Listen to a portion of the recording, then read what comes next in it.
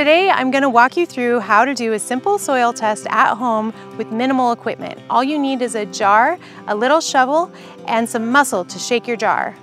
And so what I've done here is I've dug down about six inches into my soil bed and I'm gonna mix this soil up so that I get a good representation of what's in my soil. I'm gonna add that to a jar that's halfway full of water. So I'm gonna fill the rest of this with soil but leave a little bit of room. Okay, so then you're gonna put the lid on your jar of soil and water and you're gonna shake it for three minutes.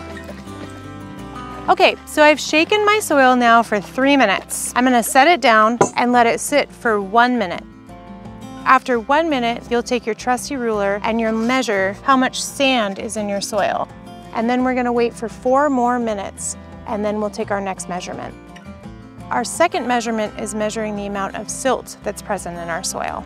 So if I was at one inch with my sand and I'm at three inches now, that means that I have two inches of silt that's present in my soil.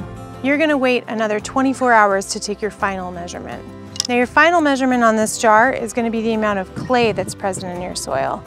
The ideal ratio for soil is 20% sand, 40% silt, and 40% clay.